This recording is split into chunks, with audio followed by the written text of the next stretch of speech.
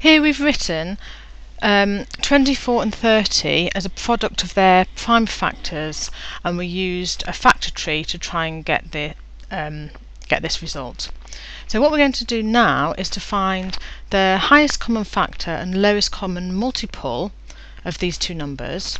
We'll use this information and put it into a Venn diagram.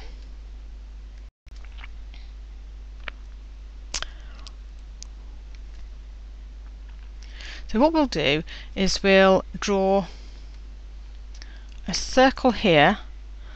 This is for the number 24 and this circle is for 30.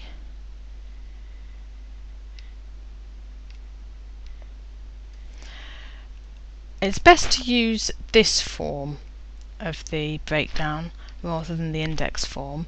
So let's have a look at this and compare it to this.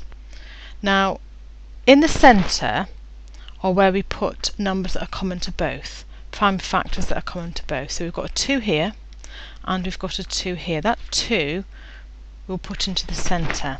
So we know it's in the circle for 24 and it's also in the circle for 30.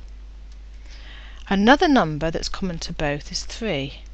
So cross those out. The 3 is going to go here so it's in the circle for 24, it's in the circle for 30. The other numbers, we haven't got any more numbers that are in common, so we place them. These two numbers are both the other numbers for 24. And in the circle for 30, we also need a 5. Now what we're going to do, we need to find the highest common factor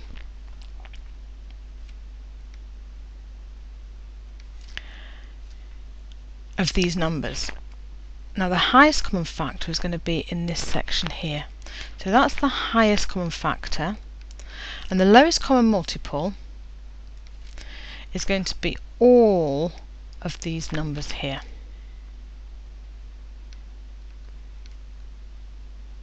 And what we do is multiply them together. So the highest common factor for 24 and 30 is 2 multiplied by 3 Sorry, we can't see that very well anymore. And the lowest common multiple is 2 times 2 times 2 times 3 times 5.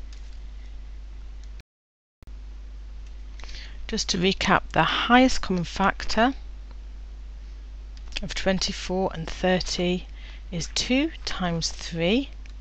So the highest common factor is 6 and the lowest common multiple is going to be 2 times 2 times 2 times 3 times 5, 120.